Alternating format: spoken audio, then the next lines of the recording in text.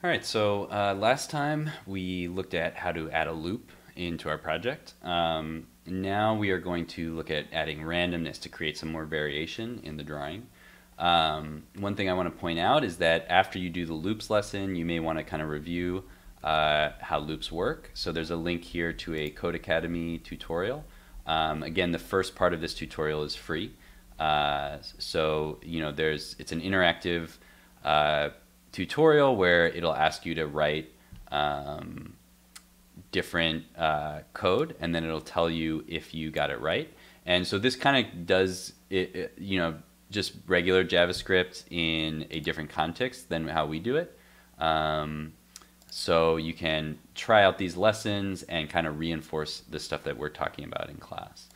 Um, so let's go back to the notes. So today I'm going to talk about randomness. Um, I'm going to add some randomness into my drawing. Um, and that'll kind of be it for this week eight lesson. That should be enough to get you started on the assignment eight, um, creating a variation. So I'll talk about that a little bit at the end of the video. So to get started, I want to have my project open. So I'm going to open up GitHub as usual and make sure I'm up to date. And then I can uh, open up in Sublime. So here's my loop project from last time. And I'm also going to click show in the finder. So I'm going to create a new example based on the loop example that I did last time. Um, so I'm just going to duplicate that folder and then add some new code into it. So I'm going to hit Command D on there and change this to, um, well, I guess I should name this after the assignment. So this is going to be pattern underscore one. And so this will be our first pattern assignment. Um, we're going to use a loop and then we're going to add some variation. And I'll show a couple different things that you can do with this. Uh, so you don't have to do all of them, you just have to choose one that's most interesting to you. Um, so let's go back to Sublime. Um, I'm going to open up index.html for my uh, landing page. And I have my link to the loop example down here. I'm just going to add a new line here and add another link And so this one goes to random. Uh, and this is our pattern version 1. Uh, and then I'll just close the anchor tag, close the list item. So then I want to make sure that Sublime server is running. So I'm going to click sub start Sublime server. Um, and then I'll go to the browser and open up the Sublime server. So that's at localhost 8080. And I'll click on MMP210 and here's pattern version 1. Um, oh, whoops, I put the wrong reference here. It's pattern underscore 1. Sorry, I'm kind of thinking about randomness too much. So pattern underscore 1.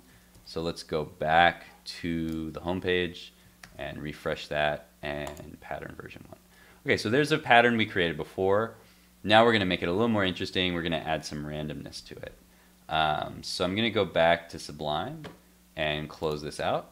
And I'm going to go to pattern one. I'm going to open up index.html first and just make sure this all matches. So I'm going to say pattern version one for the title and same for the h1. And then I'll just do a couple different types of patterns you could do. Um, we'll do some randomness and then we'll try different some different stuff. So um, I'm going to take out my variables for now just to kind of simplify things.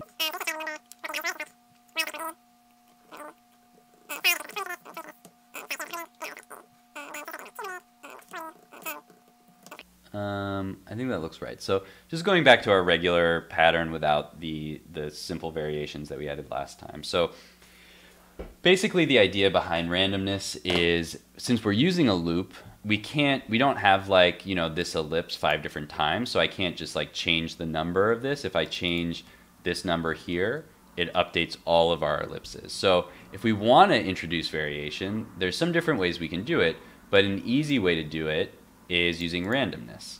Um, so let's take a look at randomness and then we'll add it to our code. Uh, so random is just a mathematical uh, concept um, where basically uh, what we're doing in our code is actually not pure randomness. It's more like um, it's more accurate to say it's arbitrary because we are going to set limits to the randomness. But what random does is it basically takes a range of numbers and it gives us a random number in between those range.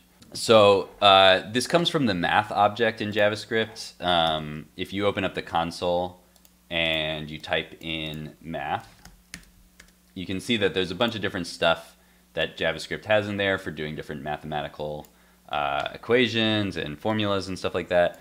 Um, and one of those things is math.random.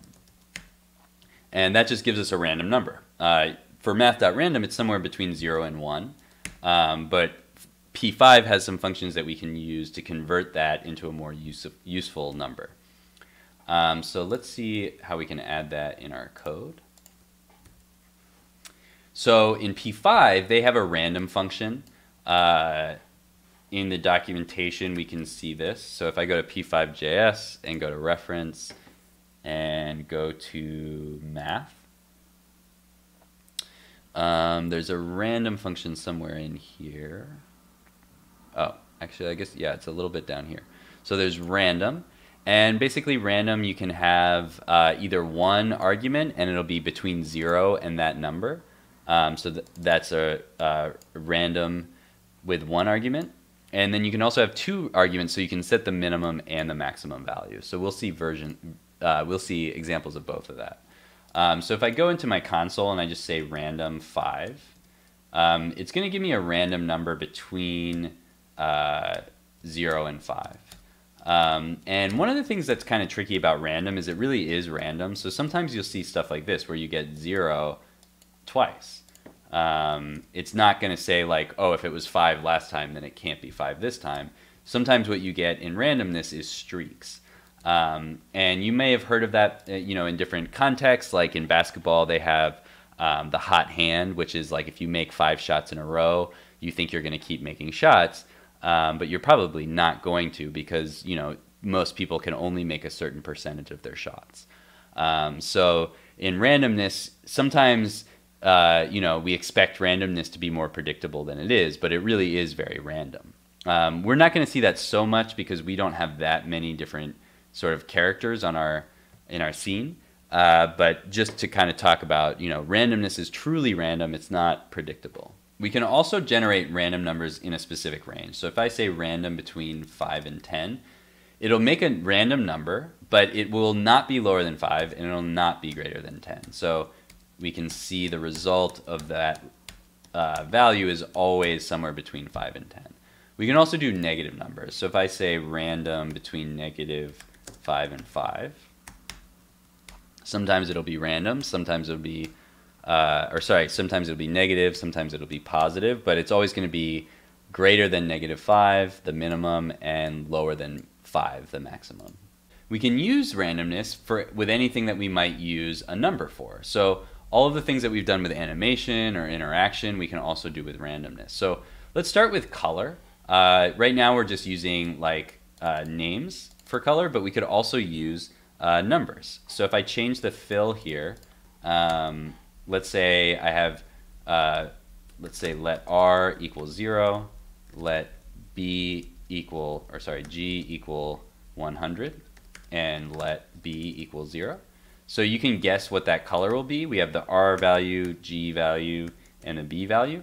So since we have 0R and 0B uh, and 100 uh, green, when we do that fill, you can probably guess that we're going to get a green color.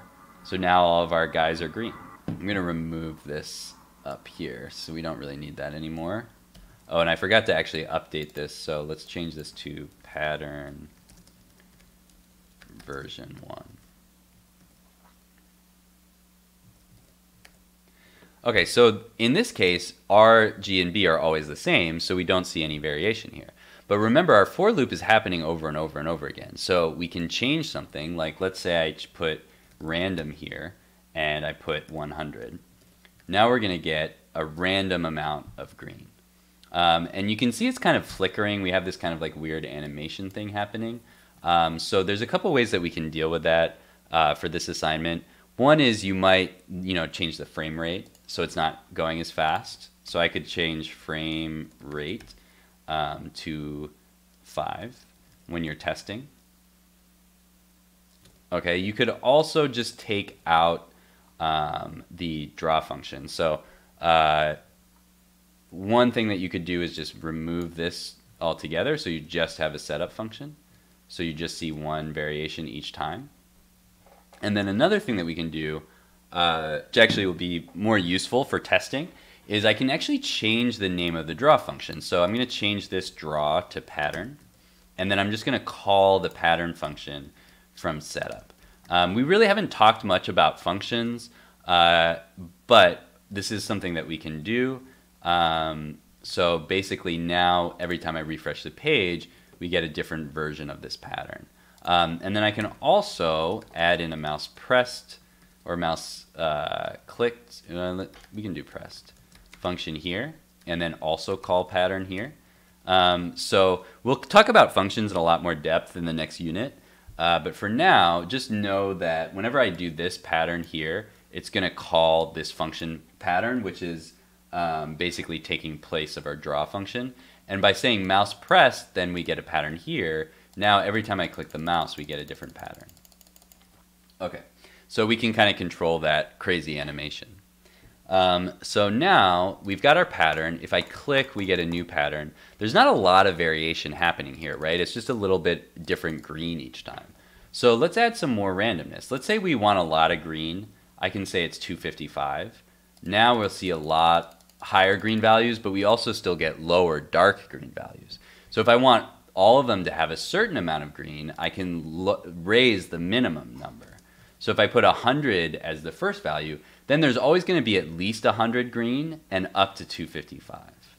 Okay, so now there's none of that darker green anymore. It's always kind of a bit brighter. Um, I can also lower this if I don't want those like really neon green colors. Okay, so now we have a range of green. Um, and so we can continue to add to our color palette uh, by adding red and blue. So let's add some blue first. Let's say we want some random blue random 100. Okay, so now we get some nice blue-green colors. If we want a little bit more blue, maybe we could add up to 150. Okay, so we get some nice blues. Uh, and then we can add some reds as well. So we can say random 100 on the red. Okay, so you don't see a lot of reds because there's always going to be less red than there are green and blue. So when you're using randomness, although some values are random, we can control for the amount of randomness we see. Um, so we do get this kind of like range of colors between this sort of darker blue and this sort of lighter green. Uh, if I just did completely random on all of these, so that would be just like random 255. I'm just going to leave these here with comments. So if I just did random 255 for each one, then there would be no real color palette happening because it would just be completely random colors. And that's fine, you might like that look, but if you want to control the design a bit more, then you can use these random ranges uh, and limited amounts of random in order to uh, get a specific color palette. So you could play around with that for a bit. You could pause the video and say, what if I want more reds or what if I want more oranges? How would I mix my colors that way? Um, so that's randomizing color. Uh, we can also randomize size. So let's randomize the size of the face. So I'll say let uh, S for size. And let's say we'll set a range. Like the, the smallest face we want is 40 pixels. The largest face we want is, let's say, 120 pixels. Um, so then this will set one size, and then we can kind of apply that. So let's start with the face. So I'll put S for size into this to the ellipse size value. Oops.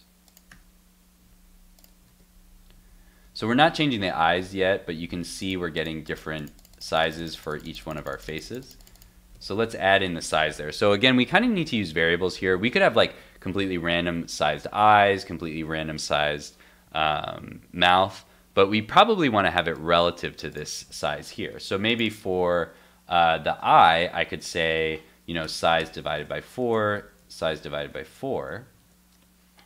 Okay, so now the eyes are changing with the face. But I could also add even a little bit more randomness to that. So I could just say plus random, you know, 10 or actually 10 is probably too big. Let's say 5.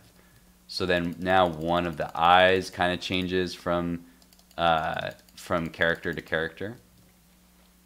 So I can add randomness in a lot of different places. I could also, you know, make this random, so some of the um, the eyes will be, you know, less more or less close together. So that's another place I can use randomness. Basically, anytime I have a number, I can have some randomness. Um, so let's see, I can also change the size here. This is size over 2 for the mouth. And size over uh, 4.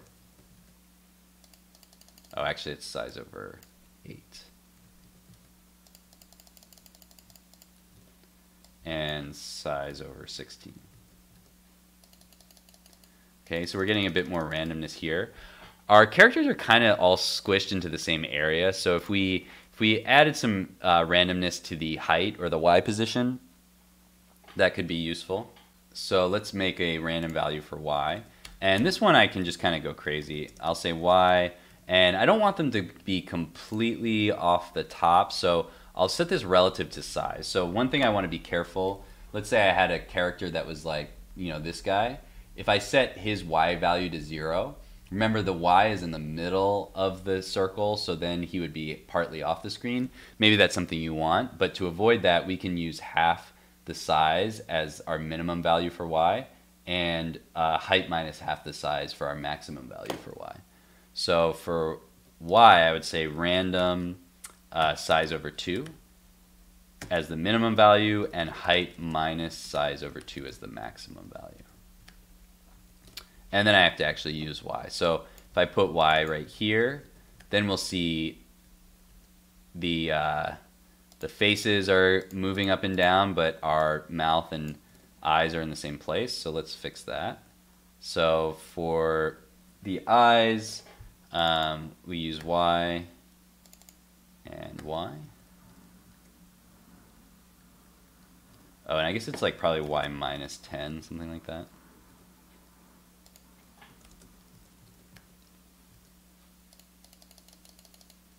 okay? And then here we have like y plus 20. Okay, so now we have a lot of variation in these different characters. Um, so that's one way to go. You could use your self-portrait or some element of your self-portrait to create a pattern. Um, well, actually, let me wait a second before I talk about the assignment.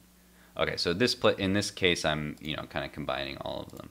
Um, so let's go back to the class notes for a minute and talk about the assignment. So for the assignment, I want you to just make a simple pattern, okay, looping across the page. Or if you want to, you know, try going down the page or, you know, something else instead, you could give that a try. That might be fun.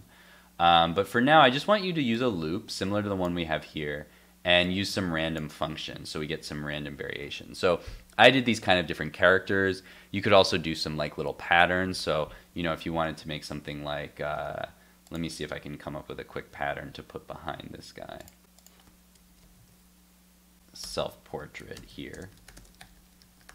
So again, you don't have to do both of these. You can do one or the other, but something you might want to do instead of a self-portrait is like kind of a pattern. Um, so I'll like remove these for a second. So an abstract pattern, you could just use shapes. So maybe I would do like a line from like X and uh, 0 to x uh, plus, I'll use 100 again here, and height. So then you get a line going down the page each time. Let's do a stroke of, I guess we can use the same RGB here, so we'll have some randomness. And then we'll do a stroke weight of like 2. Okay, so, you know, we're just a little pattern. Uh, maybe we'll make that a bit bigger. So it's pretty simple, but you could start to see how you might make some cool stuff with that. I could take another line here and reverse the x. So I could say x plus 100 is the starting point and x is the ending point. So we get a little, you know, x. And then you could start to think about like, well, what else would be interesting? Maybe I'll put an ellipse where they intersect. So can I figure out where they intersect? Well, it looks like they're probably in the middle. So maybe I could put an ellipse at x and um, 180 is height over 2 and uh, make it like 10 pixels. Okay, so now I've got a little circle. Actually, I didn't really get the intersection because it's it's moved over a bit. So let's say it's probably x plus 50. Okay, so now I have like a little circle.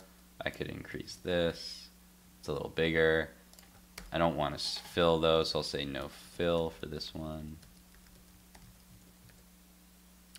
Okay, so that's kind of cool. So I could start to play with different variations of a pattern, um, and then I could start to move stuff around. So I could say like maybe this y is actually random between like 160 and 200 or something like that. So then I get to have some like subtle variations in my pattern. So there has to be some variation, but you could use like abstract shapes and stuff like that um, if you're more interested in that type of thing than the sort of like characters that we're doing down here. Um, another thing that you could do is like try to make windows, so like windows in a building, because those usually repeat, but then you could have some variation. Um, so you can also come up with different ideas if you have other thoughts of things that you would want to do. Um, if you have something that's like a little bit, uh, you know, unusual, as long as you're using the for loop and the randomness, you know, that is perfectly fine for the uh, for this assignment. Um, so yeah, that's basically it for random. Um, if you have any other questions, let me know. I'm gonna put these little self-portrait guys back in here just so we see both of these examples. So we have the pattern in the background and then our self-portrait in the foreground. Okay, so I'm going to stop here. Um, if you have any questions or thoughts about the assignment, uh, please put them on the Blackboard forum. Uh, and if you have any questions or you need help with anything technical, uh, let me know and I can uh, maybe take a look either on Zoom or just over email. Um, and just to cover GitHub once again, kind of repetitive, but you know, just to make sure we we always do this. So I need to add um, the pattern to the GitHub and commit to master, and then push origin. Uh, and then I'll add a link to this code, which you can see right here. Um, and of course, if you are going to turn in your assignment, you need to use, um, you know, you would do your username.github.io slash mmp210. And if you have a link here, um, oh, I haven't, it's probably it just hasn't updated yet.